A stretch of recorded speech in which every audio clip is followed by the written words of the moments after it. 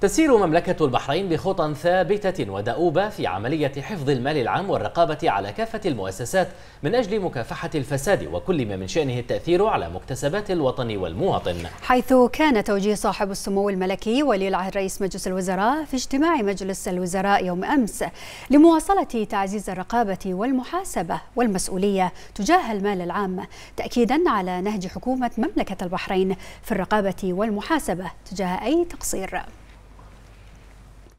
جاء توجيه صاحب السمو الملكي ولي العهد رئيس مجلس الوزراء لمواصلة تعزيز الرقابة والمحاسبة والمسؤولية تجاه المال العام مؤكدا لنهج حكومة مملكة البحرين في المحاسبة وحفظ المال العام. فحرمة المال العام تعزز من تعامل كافة المؤسسات في مملكة البحرين لردع كل من تسول له نفسه المساس به حفاظا على المقدرات الوطنية. وهذا النهج حرص على طرحه والتشديد عليه سمو ولي العهد رئيس مجلس الوزراء في مختلف اللقاءات.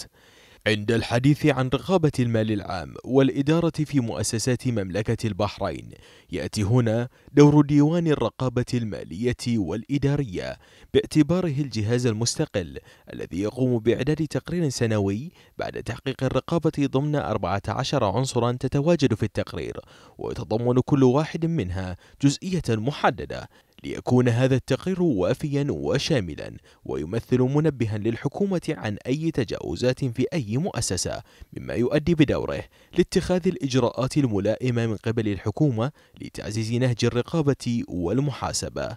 وثاني الجهات التي تطلع بالمهام المعنية بحفظ المال العام هي الإدارة العامة لمكافحة الفساد والأمن الاقتصادي والإلكتروني بوزارة الداخلية وهي التي تواصل باستمرار في تلقي البلاغات والتعامل معها وفقا للإجراءات القانونية المتبعة بالإضافة إلى مواصلة الحملات التوعوية والتعاون مع كافة قطاعات ومؤسسات وأفراد المجتمع في كل ما من شأنه تعزيز النزاهة ومكافحة الفساد. في إطار الجهود الوطنية الحثيثة لصون المال العام والحفاظ على مكتسبات الوطن.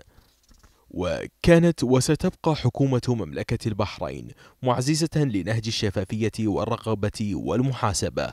من خلال الإيمان التام بأهمية أن تكون الرقابة عملا مؤسسيا منضبطا ومحكما ومستقلا لا يخضع لرغبات أو تأويلات بل حقائق وبراهين وهو ما ينتج عنها محاسبة لأي مخالفات تستهدف المقدرات والأموال العامة.